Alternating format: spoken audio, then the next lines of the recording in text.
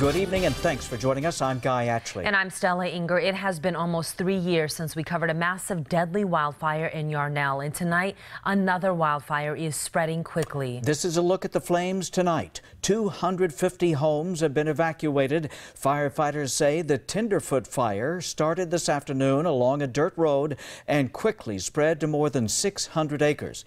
A resident who rebuilt after the first fire in Yarnell in 2013 says this experience is hitting home for him.